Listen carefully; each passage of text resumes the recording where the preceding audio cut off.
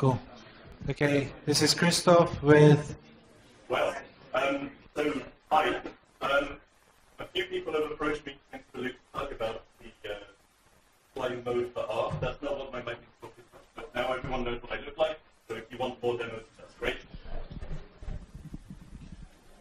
What I actually want to talk to talk about is uh, uh, finding someone to fix my dreadful ELisp. Um, what you've got on the right is uh, an interface to an interface to uh, the BBC's iPlayer, um, which is something that you know I like to use every so often. Uh, and it, so the back end to this is the get_iplayer Perl script that many of you might have seen um, that goes off and pretends to be an iPhone and sorts of information from the BBC's iPlayer. Um, this is a orgstruct Emacs front end to all of that, which has all the nice goodies of being able to search for things and page through and so on and so forth. And you can even browse BBC4 on a good day. And on a bad day, what's happening here is that it's attempting to update uh, the iPlayer cache.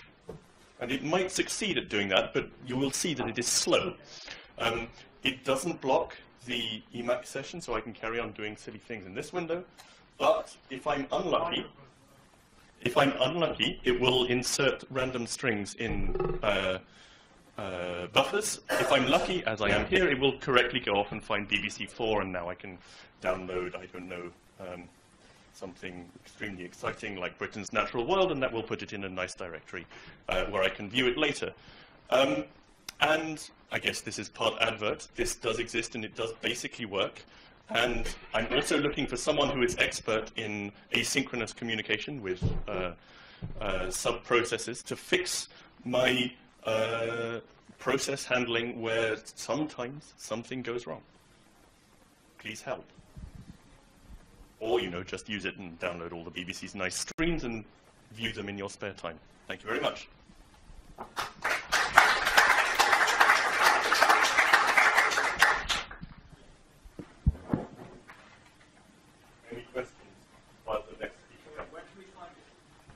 Sorry. where can you find it is the question. Good question. I think if you Google iPlayer Emacs Lisp, it pops up. That, it, it's on my GitHub somewhere. Um, you know, it- it's in the cloud. Do you have a, you have a feature that it automatically tunnels my traffic through an IP address or somewhere near the... Uh, hold on, hold on. Sorry. Uh, it's a it's a preemptive feature request. I would like it. Never mind.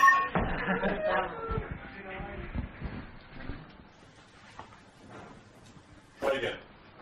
Just shout it out. So it's a preemptive feature request. Um, could you write a little bit of Emacs Lisp code that tunnels my traffic through a gridded IP address and I assume it's correct and then view the program? Mm, the question is, can I support copyright infringement on a grand scale? Um, well, no. Uh, I, I have, I have no. Uh, mm, excuse me. I have no better. Probably. No. I don't know. It's turned on. Is it green light? I have no uh, publicly accessible UK IP addresses to offer you.